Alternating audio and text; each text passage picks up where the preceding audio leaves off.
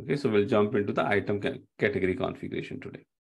So as I told you earlier, I will quickly repeat that there would there are few configuration which is important. Okay.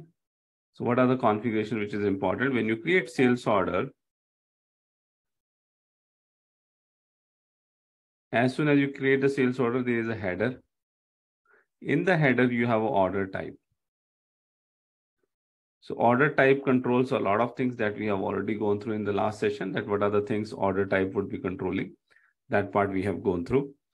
Then after the order type, there would be line items. Item 10, item 20, item 30, right?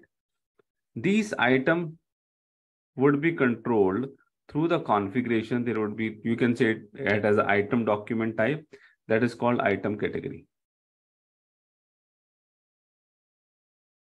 Okay, and we, we don't manually order type, yes, we manually enter it, but generally item category, we don't manually enter it, system automatically determine it.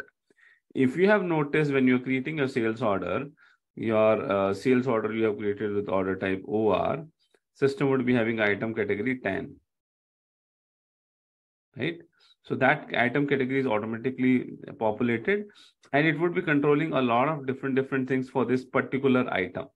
So order type was controlling for the full order. This item category, the configuration will be having, that would be controlling for this particular order, particular item, right? And then there would be one more thing would be there under the item category.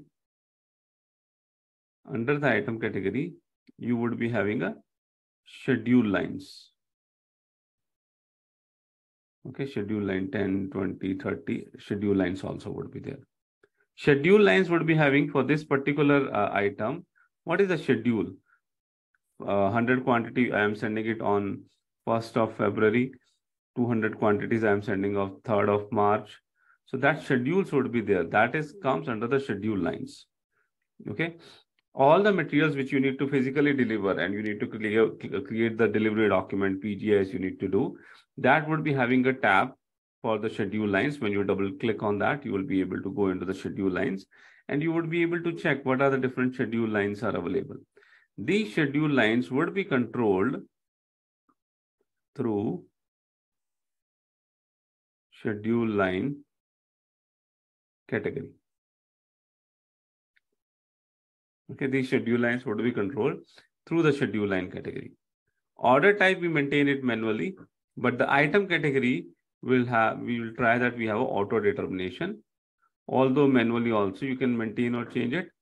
Schedule line category also will to try to have auto determination so that system should be automatically determine what should be your schedule line category. So today we are going to talk about the uh, the configuration of your item categories.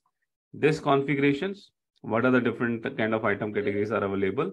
What kind of uh, fine tune uh, of in the configuration you can do it and schedule line category that what kind of play around you can do it with the schedule line categories. That's what we are going to discuss in the today's session.